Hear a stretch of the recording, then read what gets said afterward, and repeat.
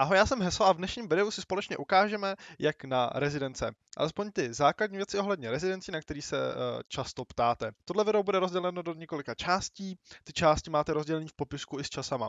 Ukážeme si na začátku, jak vytvořit rezidenci pomocí jednoho příkazu, potom si ukážeme dva způsoby, jak ji vytvořit pomocí sekerky, případně motičky, záleží na tom, jak to ten server má zrovna nastavený, potom jak předat kamaráda a jak zakázat pohyb v té rezidenci.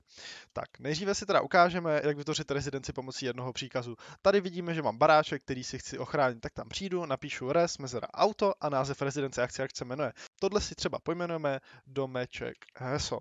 Rezidence se nám vytvořila a když napíšeme res info, tak vidíme, že je fakt veliká a je tak moc veliká, jak moc to povoluje aktuální nastavení serveru. Nevýhoda tohohle je, že přesně nevíte, jak je velká, že budete muset dojít na ty okraje a změřit si to, což je trošku nevýhodný. Když tu rezidenci poté budeme chtít smazat, tak napíšeme res remove a klikneme na tohle. Ono se nám to tím smaže. Teď si ukážeme další způsob, jak vytvořit rezidenci, ale tentokrát jenom na území, eh, jaký si mi určíme. Dejme tomu, že chci mít rezidenci odsaď až někam semhle. Tak, vezmeme eh, v našem případě, myslím si, že to je motička, a vezmeme motičku, označíme tady první bod levým kliknutím, označujeme nejvyšší bod, tady nad tím už ta rezidence nebude, jo.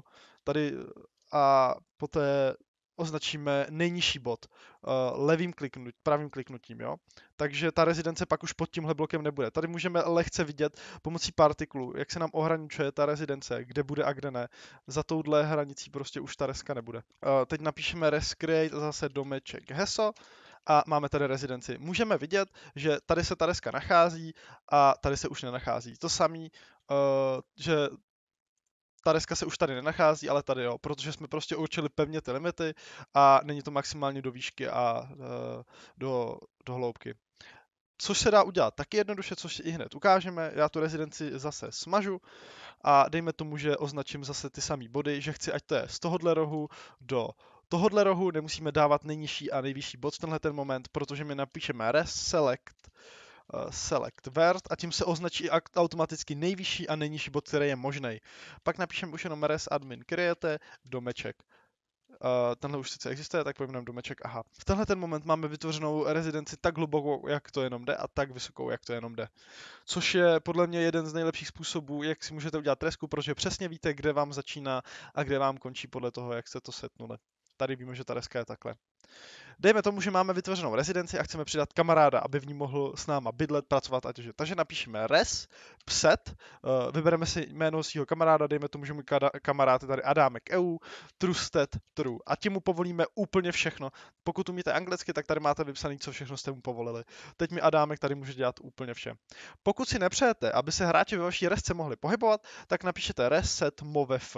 Tím jim zakážete pohyb v rezidenci. Případně ještě možný zakázat to, aby se mohli teleportovat na ní nebo do ní, to napište reset move, reset tpf, pardon. Jo, můžete nastavit spoustu dalších vlajek na to, aby tady nemohli dělat, protože v základu je tam třeba dělat můžou, třeba jim můžete vypnout chat i v té rezidenci, což eh, nevím, proč byste dělali, ale pokud máte ještě nějaké otázky ohledně rezidencí, rozhodně se ptejte v komentářích, buď vám na to odpovím, nebo udělám nějaké dodatečné video. Pokud si chcete zahrát u mě na hesovém doupěti, tak dole v popisku máte návod nebo vysvětlený, jak to můžete udělat a mějte se s tím krásně.